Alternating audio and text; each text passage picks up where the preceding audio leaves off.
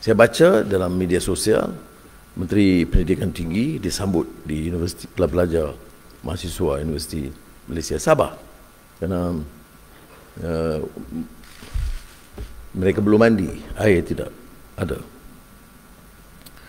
Tahun lalu sebelum saya melawat di sana, saya luluskan 3 juta. Uh, saya tidak pasti mungkin dia mengambil masa untuk pelaksanaannya. Tapi saya nak dapat laporan mungkin daripada ya, KSP boleh tanya uh, KSU uh, Kementerian Berkenaan dan Kem Pantau Madani boleh bantu untuk menanya apa berlaku sejak kelulusan saya dan tindakan diambil oleh kementerian dan universiti untuk melaksanakan. Ya. Ini uh, pada sebahagian orang mungkin perkara kecil. Tapi kalau mahasiswa itu menghadapi masalah bekalan air.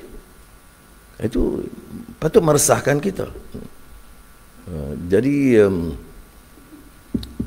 hal yang sedemikian saya yang saya saya bimbang ya.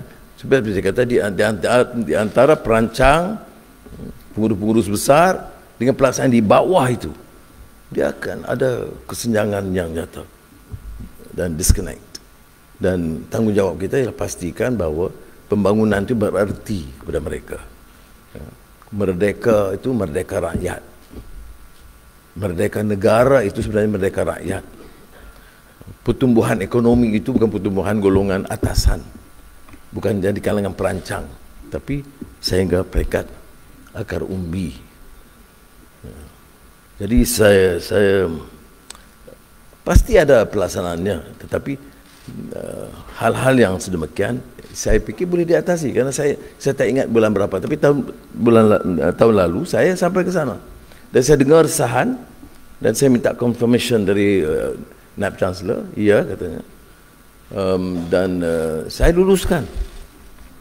Jadi saya tidak mengerti sama ada uh, mungkin projek itu mengambil masa. Saya saya tidak mau buat keputusan menghukum uh, seperti mana setengah ustaz dia cepat hukum orang jadi saya tak mahu hukum. Cuma saya nak minta laporan teliti. Apa jadi sejak Menteri Kewangan luluskan peruntukan segera menyelesaikan masalah air di universiti tersebut.